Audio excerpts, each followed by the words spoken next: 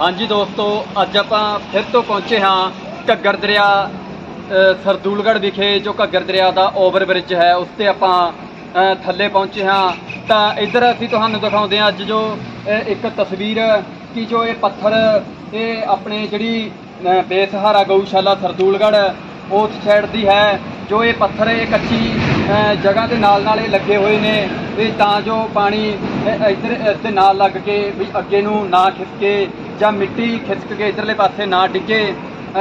ਅਤੇ ਜੋ ਇਹ ਪੱਥਰ ਤੁਸੀਂ ਦੇਖ ਰਹੇ ਹੋ, ਜੋ ਇਹ ਬਾਰਿਸ਼ ਦੇ ਪਾਣੀ ਨਾਲ ਪੱਟੇ ਗਏ ਨੇ ਤਾਂ ਅਸੀਂ ਪ੍ਰਸ਼ਾਸਨ ਨੂੰ ਬੇਨਤੀ ਕਰਦੇ ਹਾਂ ਕਿ ਇਹਨਾਂ ਦੀ ਜੋ ਪੱਥਰਾਂ ਦੀ ਜੋ ਮਸਾਲਾ ਲਗਾ ਕੇ ਦੁਬਾਰਾ ਤੋਂ ਇਸ ਦੇ ਨਾਲ ਲਗਾਏ ਜਾਣ, ਅਤੇ ਆਪਾਂ ਥੱਲੇ ਵੀ ਦਿਖਾਉਂਦੇ ਹਾਂ ਤਸਵੀਰਾਂ। ਆਹ ਜਿਹੜੀ ਆਪਾਂ ਥੱਲੋਂ ਦਿਖਾਉਂਦੇ ਹਾਂ ਤਸਵੀਰ ਆ ਥੱਲੇ ਵੀ ਤੁਸੀਂ ਦੇਖ ਸਕਦੇ ਹੋ, ਜੋ ਇਧਰ ਇੱਥੋਂ ਵੀ ਜੋ ਪੱਥਰ ਖਿਸਕਣੇ ਸ਼ੁਰੂ ਹੋ ਚੁੱਕੇ ਨੇ ਇਸ ਦੀ ਜਲਦੀ ਤੋਂ ਜਲਦੀ ਮੁਰੰਮਤ ਕਰਵਾਈ ਜਾ ਸਕੇ ਤਾਂ ਜੋ ਆਉਣ ਵਾਲੇ ਦਿਨਾਂ ਦੇ ਵਿੱਚ ਹੜ੍ਹਾਂ ਦਾ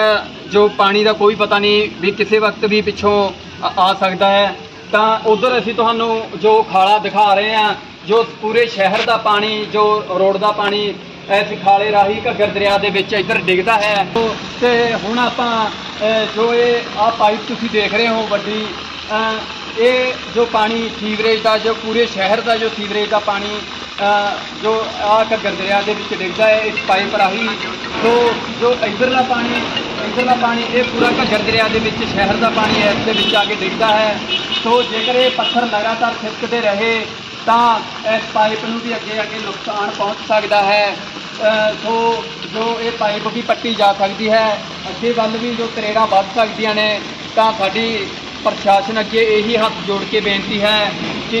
ਇਸ ਜੋ ਪੱਥਰਾਂ ਦੀ ਮੁਰੰਮਤ ਕਰਵਾਈ ਜਾਵੇ, ਸਮੇਂ ਸਿਰ ਤਾਂ ਜੋ ਮੌਕੇ ਦੀ ਮੌਕੇ ਭੱਜ ਦੌੜ ਕਰਕੇ ਜੋ ਕਿਸੇ ਵੀ ਮਸਲੇ ਦਾ ਹੱਲ ਨਹੀਂ ਨਿਕਲ ਸਕਦਾ, ਤਾਂ ਹੁਣ ਤੋਂ ਹੀ